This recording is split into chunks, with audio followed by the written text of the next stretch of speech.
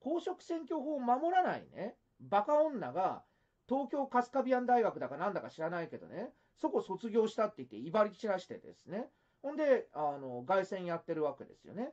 で、それを指摘した日本代表の萩山本部長に文句つけてきてるんですよ。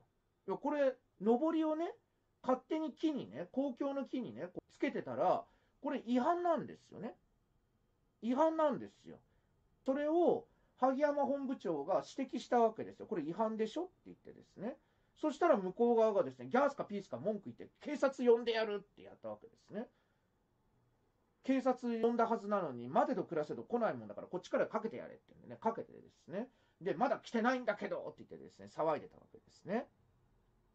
いや、これね、公選法違反ですけども、その前にまず道路交通法違反なんですよ。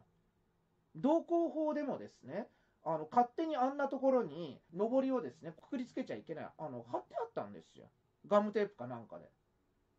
やっちゃいけないんですよ。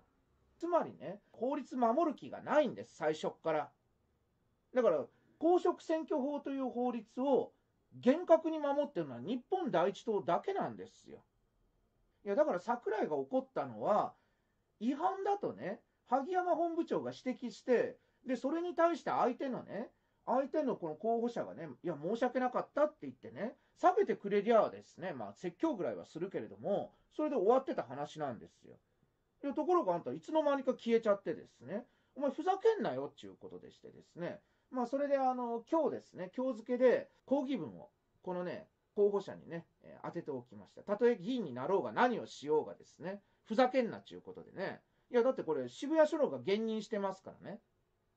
渋谷署の知能班係ですね。選対本部ですから、えー、知能班係が来ましてですね。で、あんたこれ現任したよねって私が聞いたら、はい、現任しましたってはっきり言ってたんで、公職選挙法違反行為を警察官が現任したんです。100%悪いのは相手側ですからね。相手側が犯罪者なんですよ。まずね、まずあんたあの、萩山本部長に謝れやっていうことで、抗議文ね、提出いたしましてね、これに答えなければ、こいつのとこ行ってね、徹底的に抗議ですから。ふざけんなよっていうことでね。萩山さんが言ってたけどね、東大でがこれかいというですね。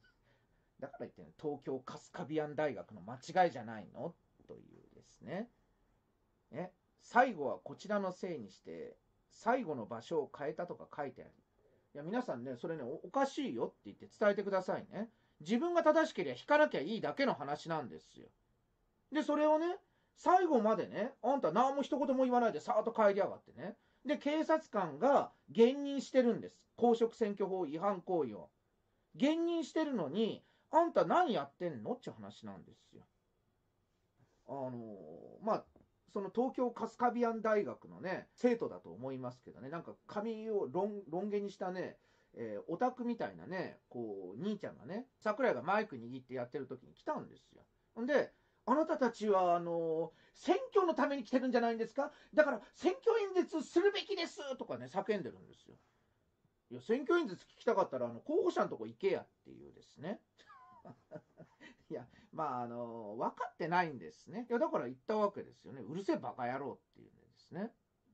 いや、こんだけね、殺気立ってるところで、途中から口挟んでくるっていうのはね、もう喧嘩売ってるに等しいわけですからね。そしたらいきなりね、このね、オタクの兄ちゃんがですね、あの、何ですか？まあ、兄ちゃんとかおっさんでしたけどね、オタクのおっさんが、いや、そんな乱暴な言葉遣いを、乱暴も減ったくれもあるかいと。いや、あんたね、一票を持った有権者様だよねって言ったら、うんって言うんですよ。私だって同じなんだよと。私だって一票を持った有権者様なんだよと。なんで有権者が有権者に頭下げるんで、このバカ野郎って、まあ、そのまんま言ってあげたわけですね。ですから、皆さんがいつもね、いつも聞いてるね、その言葉をそのまんま相手にね、突きつけてあげただけなんですよ。何も言えなかったですけどね。